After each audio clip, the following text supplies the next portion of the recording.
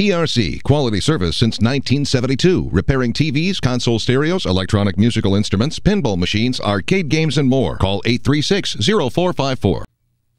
This is the ABC 3340 Weather Xtreme video. This is for Monday afternoon, the 21st of January. Many people taking the day off, but hey, we're working and you're watching, so let's talk about the weather. And yeah, buddy, snow is still on the ground up at Mount Cheaha. That's our sky cam looking down toward the park entrance.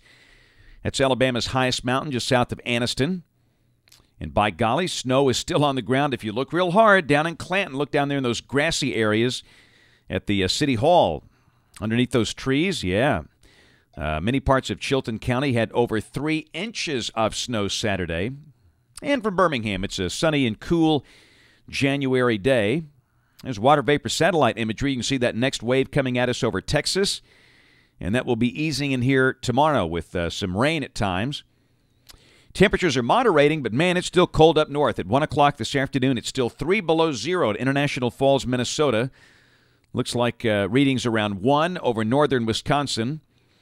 And even around here, we're only in the 40s. You know, we had expected to be close to 50 today, but it looks like uh, I don't think we'll make that. So we'll drop off pretty quickly this evening into, until the clouds begin moving in, which brings the question up could we see a little freezing rain in spots tomorrow morning? There's the QPF graphic, and this is suggesting rainfall amounts of about one quarter to one half inch for the northern half of the state, and probably a quarter inch is more like it because of the limited moisture tomorrow. Let's go through model output. This is the 12ZGFS, and uh, you can see the strong trough north of us, and a little piece of that will be coming through the southern branch, and at the surface we'll have that rain tomorrow, periods of rain.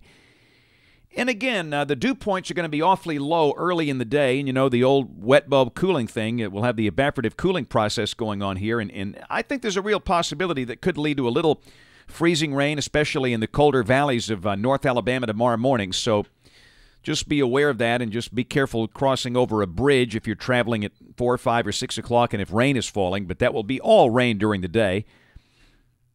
Uh, Wednesday, that wave is on by. The weather will be dry and cool. Again, I don't think we reach 50. And Thursday, here comes a strong trough developing over the east. A cold front comes in, but it should come through in dry fashion Wednesday night or Thursday morning. But cold air advection will be the story, so Thursday will be even colder. We're talking high, a high only around 40. We'll be in the 30s much of the day with a very brisk north wind. That'll be a raw day. And Friday, that surface high should be pretty close to us in the morning, so again, we should go down there in the low 20s early Friday morning with a high only in the 40s. And it should be a sunny day. And then Saturday, starting off the weekend, here comes some more rain in here. And again, maybe early in the day, there could be a smidgen of freezing rain, kind of like the thing tomorrow morning, but mostly a, a rain event. And it almost looks like a warm front pushing north out of the Gulf there. And then on Sunday, we got that strong trough uh, digging down across the central plain states. And at the surface, again, it just looks like there's a warm front sitting over Interstate 20 with the rain north of that front. And if that's the case, we should be up in the uh, maybe low 60s by Sunday with a better chance of rain over the northern third of the state. Uh, so we will mention a chance of showers on Saturday and Sunday, but I don't think the weekend will be a total washout, and I do think we warm up. And then Monday of next week, we're still in that uh, stall front there with a, a, good chance of showers and storms. So for a state that still needs rain badly, that's good. Three opportunities for rain back to back to back Sunday, Monday, uh, Saturday, Sunday, and Monday. Now let's go deeper into voodoo country. This is valid the 3rd of February, and uh, this system is still on the board. A strong trough just west of here. And down below that, we've got a weather system developing. Now, this time the surface low, instead of being south of here, is north of here. And that does have a chance of snow down into North Mississippi and around Memphis.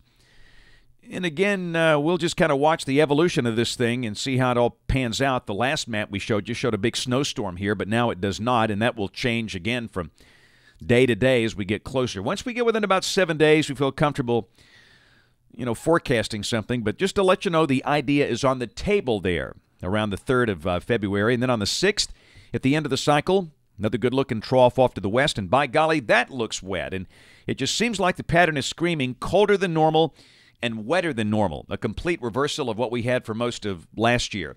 That's it for the Weather Xtreme video this afternoon. Notes on the blog. The next video here by 7 o'clock tomorrow morning. And of course, we invite you to watch us on television this evening, ABC 3340 News at 5, 6, and 10 o'clock. Again, thanks for watching. Have a wonderful evening, and God bless.